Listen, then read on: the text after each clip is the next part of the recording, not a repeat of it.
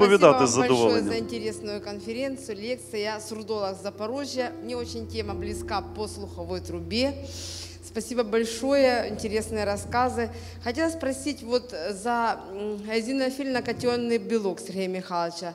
А скажите, пожалуйста, вот как стоит ли его назначать, какую роль играет и какую информативность он нам покажет наряду с иммуноглобулином И? Никакую. Никакой? Не тратьте деньги и время.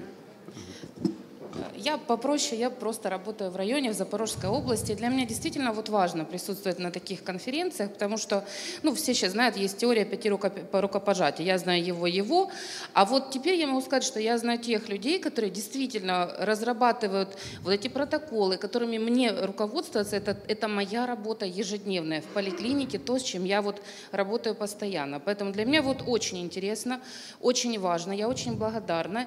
И я бы хотела задать вопрос конкретно по протоколу аллергического ринита. Будет ли он у нас? Или мы даже не будем его ждать? Вот в связи с тем, что мы должны переводить протоколы э, американские и все остальные. И стоит ли нам ожидать свое? Дякую вам за запитання. Я його, відверто кажучи, очікував, що хтось із вас задасть це запитання.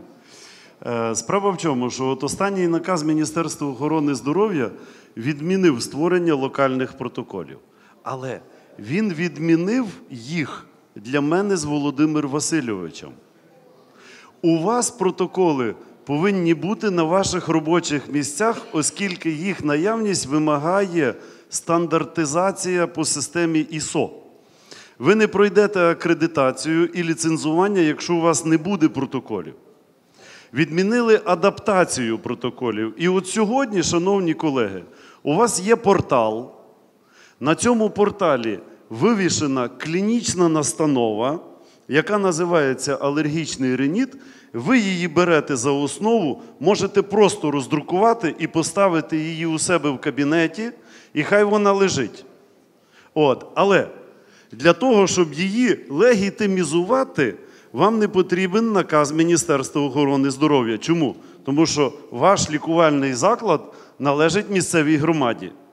І тому легітимізація цього документа повинна бути наказом головного лікаря. От ви її зробили, зверху написали затверджено головний лікар і так далі. Ви можете вибрати будь-який інший протокол американський, японський і так далі. Але вам для цього треба буде його перекласти. Вам треба буде його, по-перше, знайти, перекласти і так далі. Це вам складно, але це наша робота як державних експертів у цій галузі. І сьогодні у нас є от для вас протоколи гострий риносинусит, гост, е, тонзиліт, не гострий, просто тонзиліт, середній отит і алергічний реніт. Ви сьогодні ви їх можете брати для того, щоб включати їх в роботу свою.